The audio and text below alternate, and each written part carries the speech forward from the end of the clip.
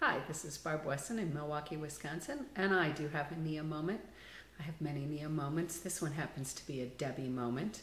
I remember the time that she fell asleep in the Portland airport on her way to Stevens Point, Wisconsin for the National Wellness Conference. And after a bit of finagling, we got her to Milwaukee, Wisconsin, and I had the luxury of driving her three and a half hours up north in my Mini Cooper. It was a lovely moment. It was some wonderful quality time with Debbie. So thank you, Debbie, for falling asleep in the Portland airport that day. Just one of many Nia moments for me.